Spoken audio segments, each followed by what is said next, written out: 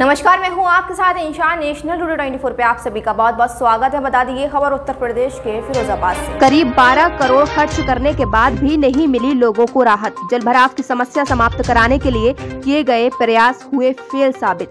खबर यूपी के फिरोजाबाद से है, जनप्रतिनिधि के अथक प्रयास भी नहीं कर पाए। समस्या का समाधान पूरा मामला चंदवार गेट की पुलिया का है, जहाँ आज हुई थोड़ी सी बारिश ने ही पूरा पुल डुबो दिया।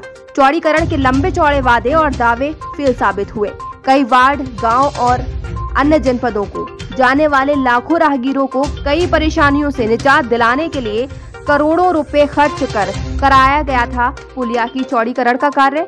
बता दें, हुआ पानी में ध्वस्त साबित।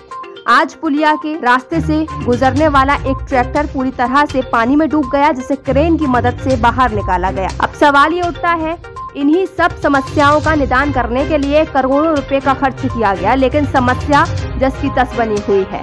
क्या फ़ायदा हुआ? करोड़ों रुपए खर्च कर पुलिया के जल भराव के बारे में, वहाँ के लोगों से जब जाना, उन्होंने बताया करोड़ों रुपए पानी में डूब गए, फिर भी समस्या का नहीं हुआ समाधान।